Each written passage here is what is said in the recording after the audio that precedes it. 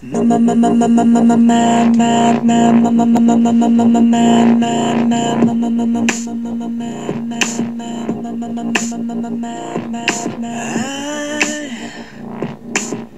can't get these memories out of my mind, and some kind of madness has started to evolve.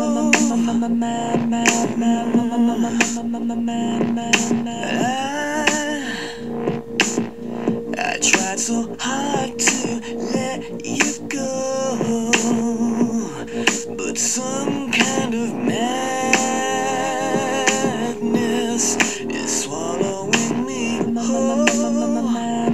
Yeah.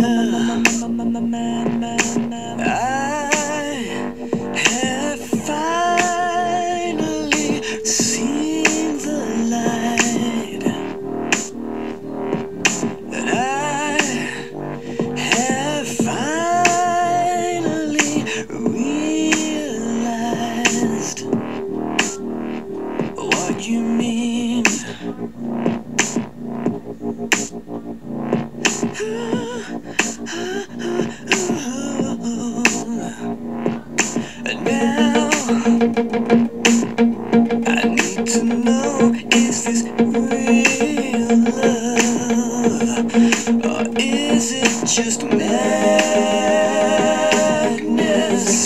keeping us afloat?